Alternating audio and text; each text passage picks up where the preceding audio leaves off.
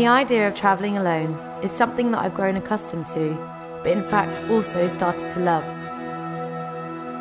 I was invited by IHG Rewards Club, a brilliant travel companion, to get out and explore Britain. I chose to visit London and Bristol, staying at hotels owned by Intercontinental Hotels Group along the way, both perfectly located to explore some of the UK's best gems. So I'm going to share with you what I got to on my staycation.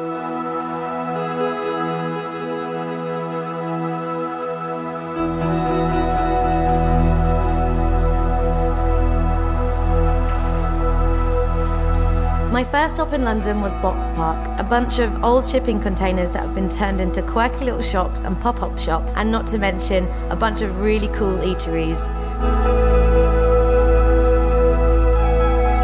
I then headed down to Shoreditch, which is a really cool upcoming area with amazing bars, restaurants, coffee shops, street art, and not to mention a lot of vintage shops.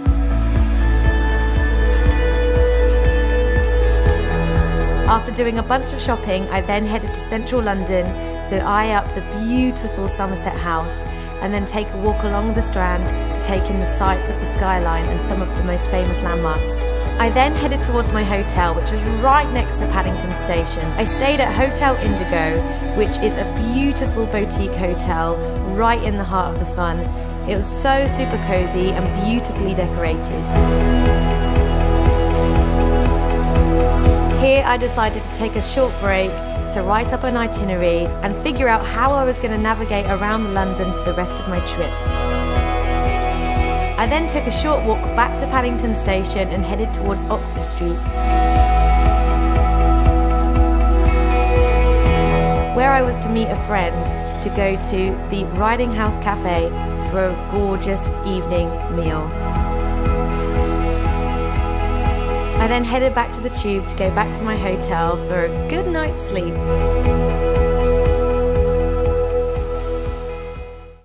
An early morning called for a nice coffee in my hotel room.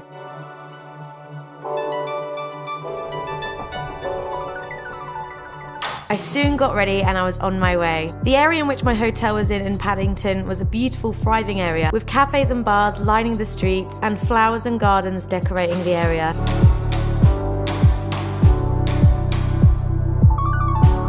I was kind of hungry, so I headed to Kensington to suss out My Old Dutch, a pancake house I've been lusting over for ages.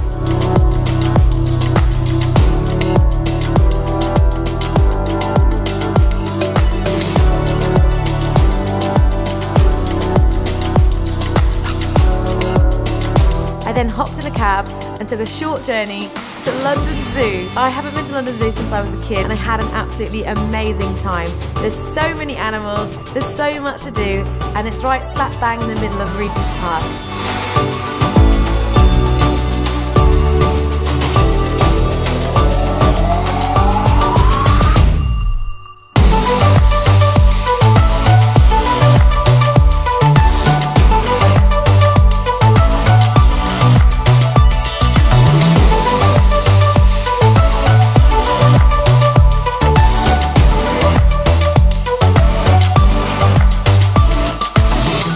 I took a short stroll up towards Camden.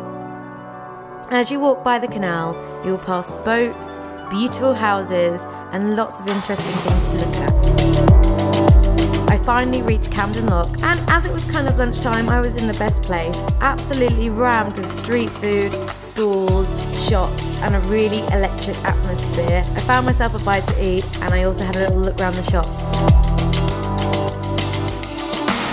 I then headed back to Paddington, which is where I needed to go to get the train to Bristol.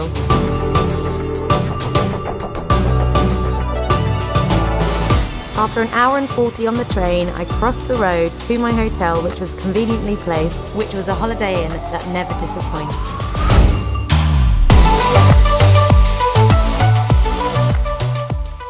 I wanted as much time in Bristol as I could, so I left my hotel, which was conveniently opposite the train station. So I left my stuff there and I headed for breakfast in an area called Clifton, and it was absolutely gorgeous. Clifton is renowned for being, well, beautiful. I then found myself walking up to the observatory, which you get an absolutely spectacular view of Bristol Suspension Bridge.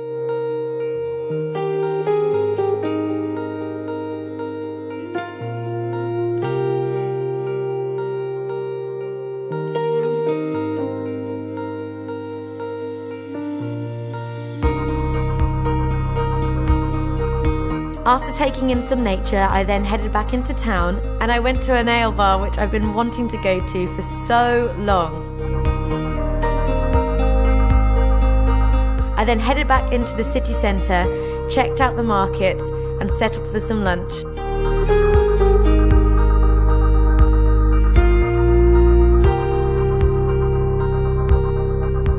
After filling up, I headed back to the train station, which was only a short walk away, and I headed home.